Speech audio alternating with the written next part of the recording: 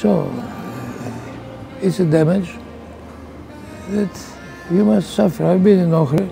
In Ohrid, it's very cruel. What he has done, it's very cruel. It's the only way I, word I can use.